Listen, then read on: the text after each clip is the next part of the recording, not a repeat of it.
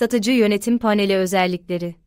Öncelikle şunu bilmenizde fayda var ki, her satıcı hesabı sahibi, otomatik olarak reklam veren ve alıcı hesabı özelliklerine de aynı anda sahip olur.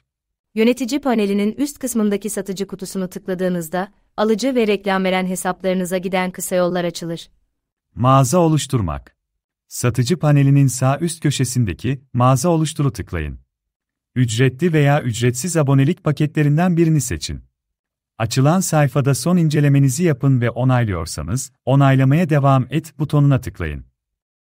Herhangi bir ödeme yöntemi gerekliyse seçin, değilse devama tıklayın. Tebrikler abonelik siparişiniz başarıyla işleme alındı yazısının devamındaki hesabım linkine tıklayarak tekrar yönetim paneline gidin. Mağaza oluştura tıklayın. Mağaza detaylarının kaydedileceği başlıklar açılacaktır. Mağaza tanımlayıcı kısmına mağazanızın adını yazın. Size otomatik olarak verilen internet bağlantısını sol tarafta görebilirsiniz. www.rexporta.com bölü firmanızın adı, formunda bir web sitesi adresiniz olacağından şirket adını dikkatlice girin.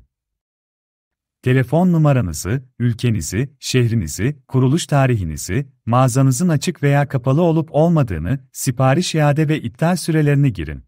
Dil verileri sayfası açılır. Mağazanız ile ilgili teslimat politikası ve ödeme politikası gibi politikaları buraya yazabilirsiniz.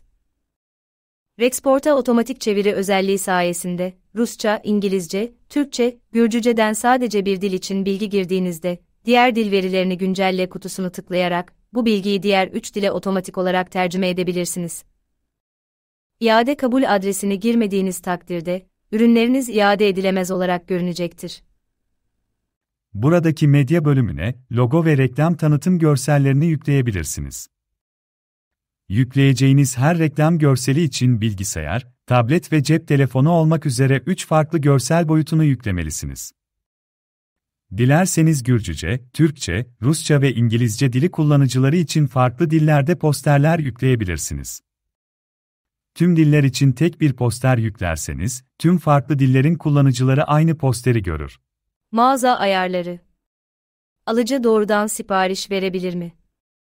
Evet veya sadece teklif iste seçeneğiyle adete göre fiyat teklifi verebilirsiniz.